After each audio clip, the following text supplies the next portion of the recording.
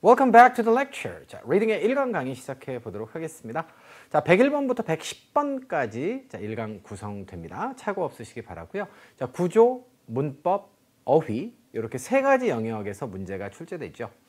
자, 이거는 뭐 이제 여러분들 강의를 많이 들으시는 학생들 같은 경우에는 예, 귀에 예, 거의 이제 인이 박혔을 것 같아요. 거의 어, 문제 유형을 먼저 판단을 하셔야죠. 그래서 필요하면 해석을 하고 필요가 없는 문제는 해석 없이 문제풀이를 하셔야 시간을 단축시킬 수 있다. 뭐 좀 축약해서 얘기하자면 경제적 문제풀이가 가능하다는 거죠. 근데 경제적 문제풀이가 왜 필요하죠, 토익에서? 토익은 75분 안에 100문항을 풀어야 되기 때문에 가능하면 Part 7에 시간을 많이 투자하실수록 여러분들이 지문을 꼼꼼하게 읽고 정답의 단서를 좀 더 빨리 찾아내시는 선순환을 할 수 있기 때문입니다. 따라서 같은 정답을 내더라도 얼마나 경제적으로 문제풀이를 하셨느냐라고 하는 것들 굉장히 중요하기 때문에 그 프로세스를 그대로 자 제가 지금 보여드리면서 여러분들과 함께 문제풀이를 해보도록 하겠습니다. 자, 첫 번째 문제부터 보시는데요. 선택지부터 먼저 보시라 그랬죠. 선택지의 품사가 같으냐 다르냐. 일단은 인칭대명사로 구성되어 있고요. 품사가 서로 같지 않습니다. 자, 인칭대명사는 일반적인 명사하고는 또 다른 측면이 있다 그랬죠. 주어 자리와 목적어 자리의 형태가 다르다.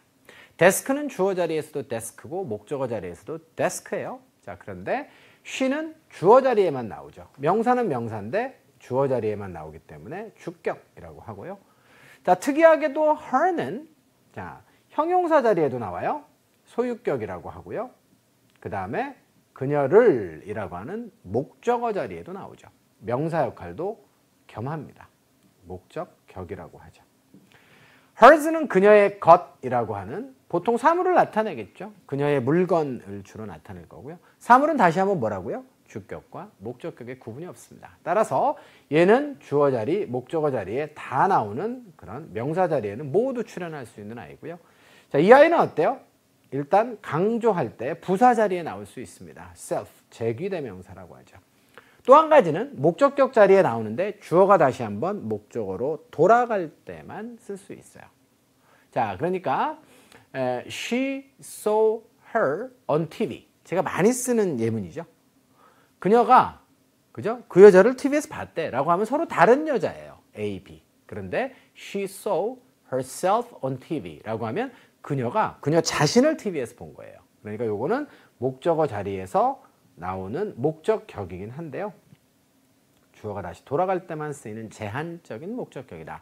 이렇게 정리하시면 되겠습니다. 자, 그리고 강조를 위해서 부사 자리에도 나올 수 있다. 근데 이 자리는 어때요? 딱 보니까 with라고 하는 전치사가 보이고 assistant라고 하는 명사가 보여요. 그러면 중간에 뭐가 들어가야 되죠? 여기는 형용사 자리고요. 형용사 자리에는 소유격이 정답이 되겠습니다. 자, 실제로 인칭대명사 문제는 매 회차마다 한 문항, 많이 나오면 세 문항까지 Part 5, 6 전체를 통틀어서 출제가 됩니다.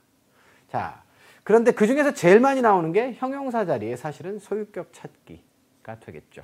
자, 인칭대명사는 이렇게 용법상의 차이가 있다라고 하는 것도 자세하게 설명을 드렸으니까 자, 참고하셔서 앞으로 뭐요 문제뿐만 아니라 인칭 대명사 유형의 문제를 만났을 때는 여러분들이 자, 잘 적용해서 풀이하시길 바라면서 1번 문제에 대한 해설은 마무리 짓도록 하겠습니다. 자, 그러면 이제 해설이 끝났으니까 2번으로 넘어갈까요? 그러면 이제 EBS 랑이 아니죠. 자, 저희는 이제 해설 끝나도 해석 연습 자세하게 하고 넘어갑니다. 여러분들도 평상시에 그렇게 공부하시라는 얘기예요. 그래야 책을 덜살수 있고 돈을 덜 써도 자, 여러분들이 원하는 점수 달성을 할 수가 있는 것이겠죠. 해석 연습 꼼꼼하게 해드립니다. 자, 주어는 필립스고요.